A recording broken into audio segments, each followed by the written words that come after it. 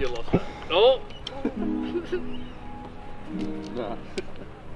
Mate, there's guys doing calf raises on a little kids park toy.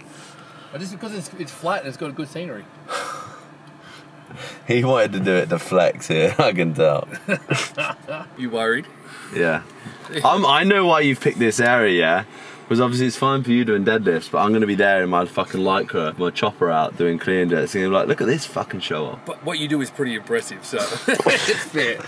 Okay. Okay. If if you were if you were failing lifts and you were moving like an absolute spaz, We're going to have to reel a lot of weights over there, eh? Because I, I had a I had a look on Google Maps and just from knowing the area, this is probably the nicest place. You know, we'll get full sun. He sounds like a real estate agent. Nice it's quite spacious. Um, Three it's, uh, bedroom garage. yeah, after it's it's uh, it's a real steal. This video gets 10,000 likes. Apex will do a session naked and set up an OnlyFans. Sonny appears a little bit nervous today, doesn't he? I don't know what he's nervous about. Does this all the time. Pretends like he doesn't like to layer up. He wears superhero pants. That's better. Wow. As if don't look at me. Be surprised if we end up on Influencers in the Wild after this, especially once Apex gets his big tripod out. Got some uh, some new ones, but haven't stepped too far, so we can't be too disappointed. Some energy sports drink flavored jellies, orange blast, blue lightning, and lemon lime leap, and what are these? rainbow snakes.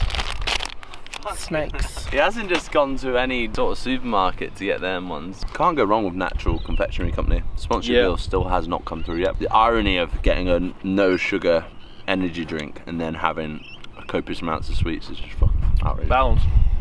We want Red Power Ranger. greens for you, big boy. Thanks, Bryce. 240 COVID cases today. You are never going home, brother. Mmm. Mmm.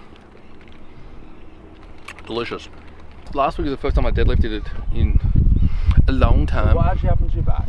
No, it's my wrist because my shoulder's are real tight. Mm-hmm. Because you know I'm just heaps massive and shit. So trying to get my arm through back when we were doing those cleans, the the cycling were not to move the feet because I couldn't get under it as much by moving my feet. Still fucked from that.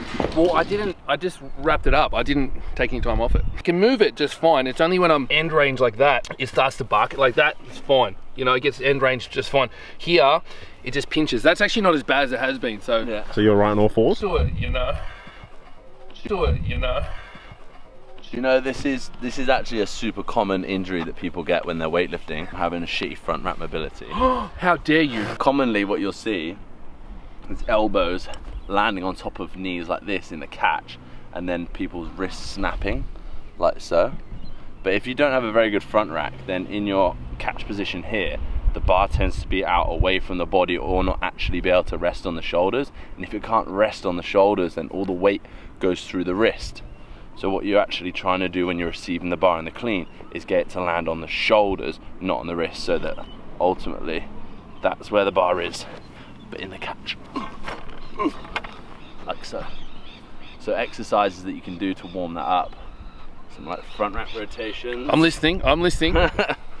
front rack rotations. One of my favorite ones is anchor squats.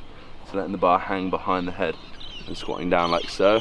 This will get you used to thinking about being in a nice upright position in the catch of the clean. Finally, to create a good platform, we need this range of motion, upper thoracic, something like happy cat, angry cat, or happy girlfriend, angry girlfriend. or boyfriend for Sean. Don't tell people that. Have you ever struggled with any mobility or have you always had, had that in the bag? Do you know what? I've been very fortunate because I started when I was 11. Most 11 year olds have pretty good mobility, and I've had no more than seven days off training since I was 11. Yeah, it's a long time, isn't it?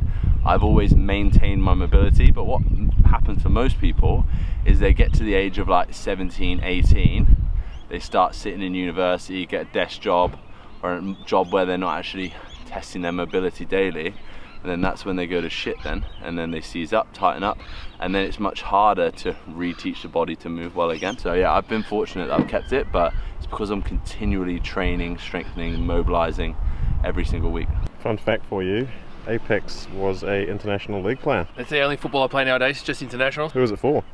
Canada. Canada? Fucking, fucking A. How does that work when you live in Bondi? My dad's from BC, dad's from Canada. from Kelowna. So did you know the national anthem prior to that trip? Yeah, but I've forgotten now, so don't ask me. Real Canadian pride there. Starts with Oh Canada. our home and then you just start moving the land." That's all I've got. That's all I've got. But that's the best part, you know. That's the best part. And then um, when you know that's coming back again, you just amp it So up. today we're gonna do cl- a clean variety, like a selection pack of everything clean related. I don't know how heavy, I don't know in what particular style. I just know that it's going to be a clean day today. So enjoy. did you bring? Did you bring any fires for crispy? I literally did. Did you think, ah, better bring some fires for crispy? That's literally exactly what I thought. This guy doesn't get any stronger in the next few weeks. He's gonna be fucking not allowed to train with us anymore. PB a week keeps he, the vid he away. came o- he came over here calling himself the strongest cameraman in New Zealand. Hi, I'm Callum. I'm the strongest cameraman in New Zealand. Come on, mate, you can clean it. Oh, Just gets to him mentally, the 100 kilo bar, doesn't it? Nursing his wrist. Do you want to know how to miss a clean correctly? Mhm. So most people, when they clean it, they do this, and then they go, "Oh no!" Uh, I'll have to go fives now, I think. Oh, fuck! I'll be here for a while. Look, I've got to, I got to, I got to work in two hours, so I don't know if I can get my fucking lifting in, in your with your progression. I'm yeah. happy to go one for you. Yeah, so am I. Oh, I must sing this one out again, fellas.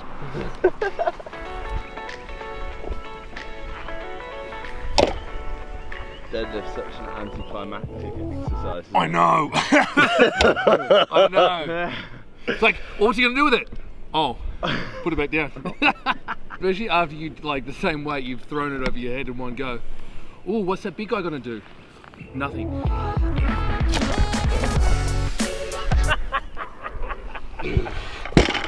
Fuck, you look good with a snake in your mouth. Even when it's not mine.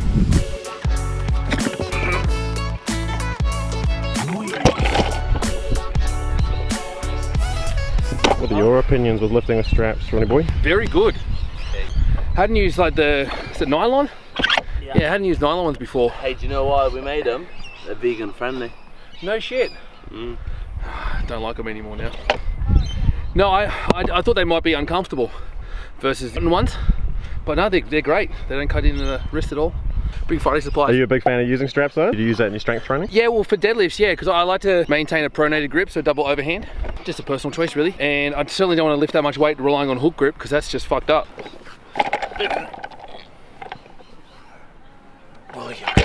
Having been filming Sonny for the last three, four weeks, it's a rather rare occasion when he misses something. Hence the silence afterwards there. What do you do on these days when you feel like shite and you don't want to go for it? Do something I enjoy doing, like this stupid exercise. Let's do it.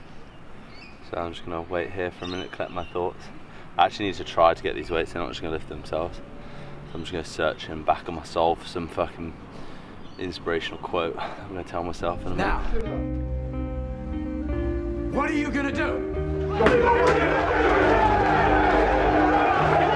Sorry, but who the fuck chooses to do deadlift in a f- fucking park? This guy. This guy. It's not fucking hard to load the bar at all. I'm loving this. Jump off.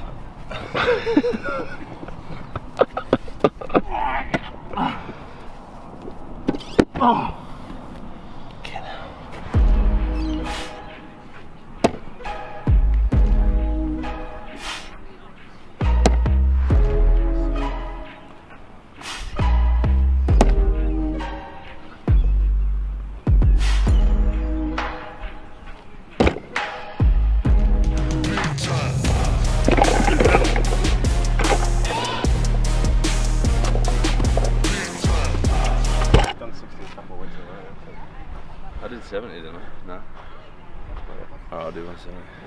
Because I'm conscious of that when I'm filming something myself.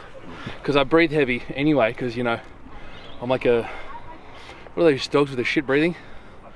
The? British Bulldog. Yeah, no, the You do look kind of like a British Bulldog. The little ones. fair. Yeah, it's me. I've been nuded as well. No balls. It's like when you see those powerlifters given instructional after they've done a couple of squats and they're just fucking gasping for another You think I have emphysema? No. No. Breathing problems? No. Just um, incredibly unfit. I did five reps about 15 minutes ago and I'm still breathing very hard.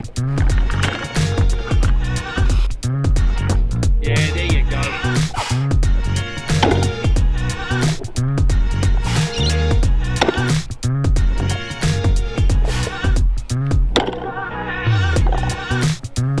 And make sure you put some creatine on your hand. More creatine, better.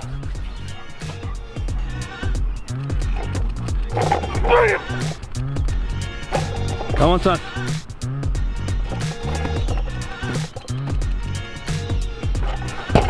How's that? Very good. Back. 170 just blew, blew the dust out my fanny. He's so unimpressed with Actually, himself. Can't talk, about, can't talk about fannies being weak. They push us out. they take a pounding.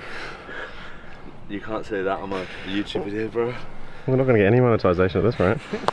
We're going to have to beep every second word, aren't we? I don't know what to say now. All I've got is smut. Good job. Look at the ground. Fucking bottom. Look at the ground. oh, for fuck's sake. I don't know how this is gonna go. I just saw someone do it. Overhead squat this, but on its edge. Stood on top of those plates for added comedic value. I don't know how the fuck I'm gonna get underneath. I'm not sure what you're trying to do. How heavy is it? That's right. 40 kilograms. This guy doesn't know what a bar and two tens is. I I still don't know what he's trying to do. I think he's going to put it over his head. Yeah. But I don't know if I'm gonna be able to balance it. Uh, Just don't have it stab you in the head. Hold on. Um, there you go.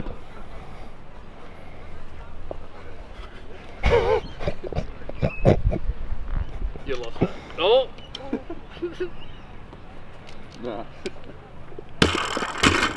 I think it's good for you guys to see those days when, for me, like I'm not really in the best of moods to train because I think like nine times out of ten, all you see on Instagram is people's highlight reels of their training, and I get days like that when I feel shit and can't be bothered to. And when I look back on that session, it really wasn't that bad. That's the most I put above my head in since I hurt my shoulder, which was like nearly two months ago, and I did it twice, and it felt good, and I was in no pain. So like my top tip when you feel that way and you go through your session is, like I said in the video, make sure you have one ex the exercise you end up doing for that day is something you actually enjoy doing and something that doesn't take a great deal of thinking.